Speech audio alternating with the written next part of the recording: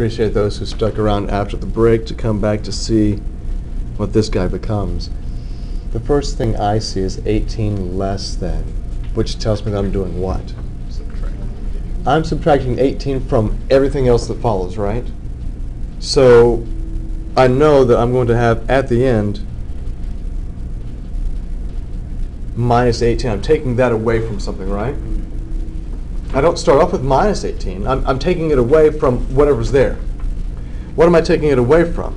I'm taking 18 away from what? The sum of, of what? Let's see. The sum of 4 and, well, it's not 9, right? Oh, It's it's 9 nine times times. something. Okay.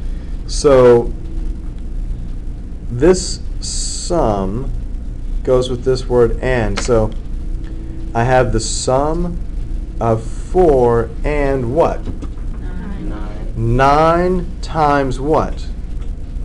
Twice the number. In parentheses, 2x. Right, it's 9 times the difference. So 9 times the difference of twice a number